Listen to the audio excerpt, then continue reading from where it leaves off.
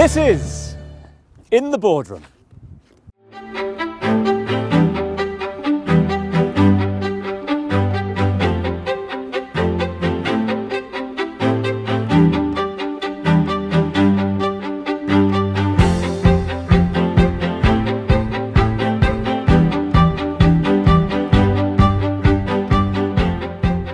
We're going to In the Boardroom, and with us today, the uber talented singer, songwriter, and one of the founders of Dubai based soul band Abri.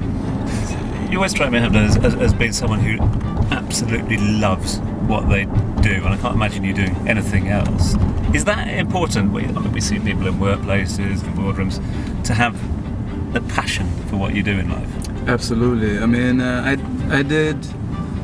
I did. I did try to do the nine to five. Did yeah, I did.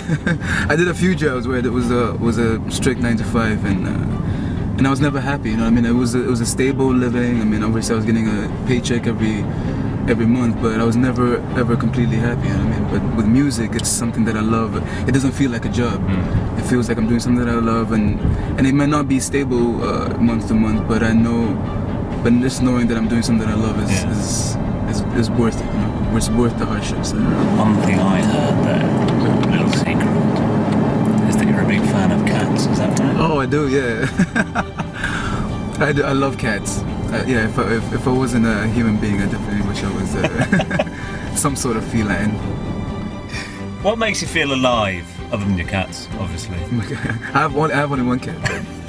I would like more, but um, what makes you feel alive? Just being here, you know what I mean? I'm, as I said, I've, I've one life to live, and I'm just trying to do this, do the one thing that I'm actually good at. and uh, just trying to affect as many people as possible. But uh, when when I'm physically long gone, there's something there.